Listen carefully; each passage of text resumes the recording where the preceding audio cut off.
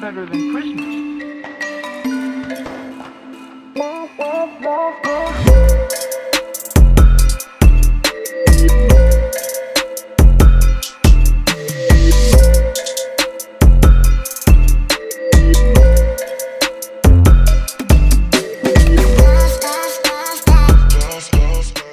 The hype is alive.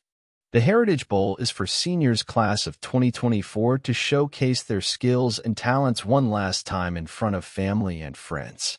The most important part is these athletes don't have to be one, two, three, four, or even five-star recruits. This bowl game is designed for the blue-collar teammate.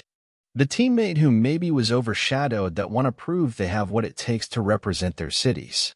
This game will have all the intangibles to become grandfathered in over time. Spread the word and send in film. Talk to you soon.